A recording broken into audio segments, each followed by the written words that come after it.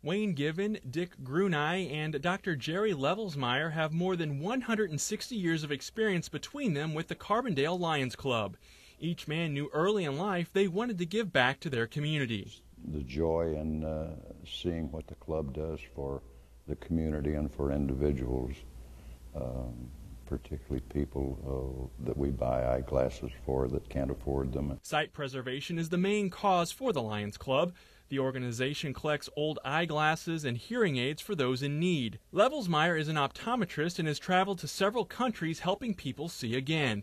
He recalls a specific example involving a woman with severe cataracts. And she raised up and kind of felt around, patted me on my shoulder, and says, I can't see you now, but I'll see you in heaven. And that kind of got me.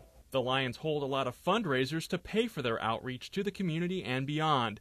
Twice a year, there's a pancake breakfast. Each member spends time volunteering at it, and every five years, the group paints fire hydrants around the city. Grunei remembers one year when the weather was hot and there were a limited number of volunteers. I was asked at the end of the uh, project how many hydrants I had personally painted, and I added it up, and it was over 200. Wow. Uh, so yeah, that was one of my big involvements. It's just some of the projects these men have done to give back.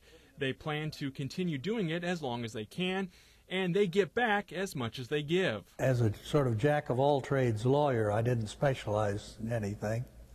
Any broadening I can get to my view is is uh, all to the good. Been doing it for 55 years, I guess. All of us are getting older, and it's harder and harder for us to do the work that's necessary Uh, in the fundraising projects, and it's very difficult to recruit young young members. In Jackson County, with tonight's unsung heroes, Kevin Hunsperger, News 3.